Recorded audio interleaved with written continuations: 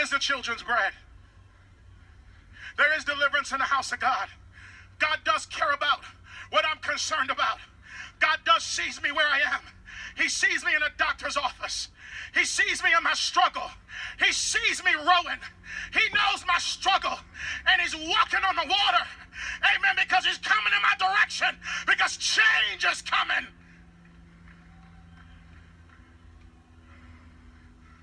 What was he teaching the disciples? Reverend Mancini, there's 12 grown men rowing a boat and they're not getting anywhere. 12 grown men rowing a boat and they're not getting anywhere.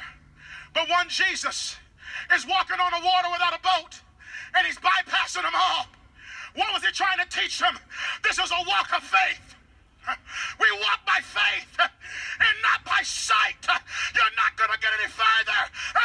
use your faith.